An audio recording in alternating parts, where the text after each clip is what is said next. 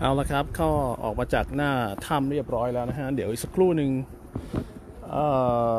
ผมจะค่อยๆ ทยอยอัปโหลดนะฮะ ขึ้นไปนะครับ วันนี้ก็ที่ Oh, we did. ที่เนี่ยประมาณสักสี่โมงสิบหกนาฬิกาสามสิบหกนาทีนะครับ เสร็จเรียบร้อยแล้วนะครับ ก็สวยงามนะครับ ที่ผมชอบคือผมชอบน้ำนะฮะรู้สึกว่าน้ำน้ำน่าเล่นนะน้ำน่ากินนะครับ ก็ไม่รู้ว่ามีอะไรความชุ่มฉ่ำขนาดไหนรสชาติยังไงนะครับ ก็ไม่ได้อมสักหนึ่งอมนะฮะเออลืมอมน้ำสักหนึ่งอมนะฮะจะได้รู้ว่าน้ำเป็นยานะครับ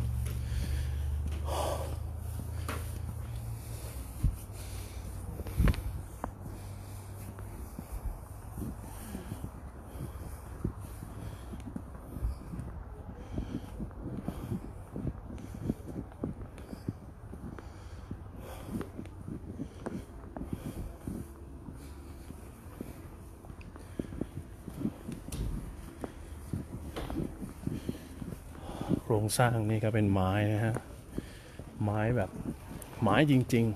ๆดังนั้นป่าไม้เขาน่าจะอุดมสมบูรณ์นะครับ เนี่ยดูความเป็นไม้ครับ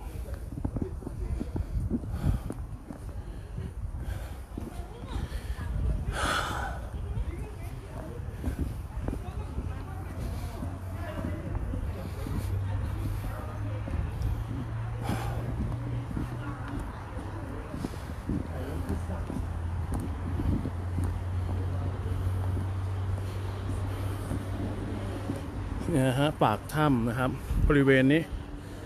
ปากถ้ำเขาทำธรรมชาติให้มันกลมเกลืนไปกับสาธารณูปโภคนะครับ สิ่งปลูกสร้างทั้งหมดเลย กลืนไปหมดเลยไม่รู้เลยนะครับว่าเป็นถ้ำนะครับ